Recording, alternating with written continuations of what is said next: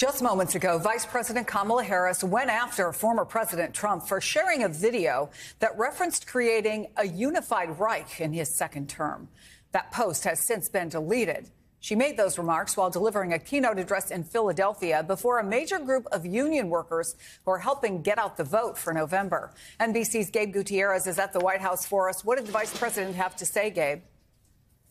Afternoon. Well, this is the vice president's fourth visit to Pennsylvania so far this year, her 14th since taking office. But while she was addressing union workers there, as you mentioned, she slammed that social media post from the former president. Now, the Trump campaign has been saying that it was an accidental post, that it was a, a staffer that uh, shared it without looking at those words. But the vice president took the campaign to task. Take a listen.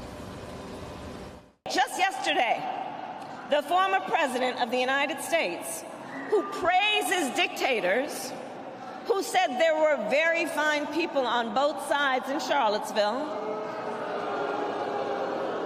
Let's not forget, took to social media and highlighted language from Nazi Germany.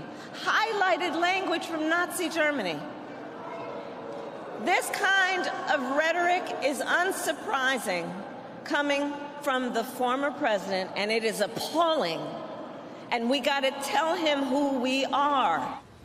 Now, her comments come after we have been hearing from campaign officials and also officials here at the White House calling that type of language abhorrent. And this comes as the Biden campaign is really trying uh, to court voters in battleground uh, Pennsylvania, speaking in front of those union workers who have pledged a voter drive, some $200 million union wide. And this is the SEIU, a union that just elected its first black president, Vice President Harris, there to try and court those vo voters. And as you see, uh, that union represents roughly 2 million healthcare, public sector, and property service workers. It's a massive uh, union. And this comes as the Biden campaign really tries to focus on topics such as reproductive rights and also student loan debt two topics that the vice president had talked about in Philadelphia before. But as you just saw, now with that social media post yesterday, we have been hearing the Biden campaign trying to seize on that. And we expect the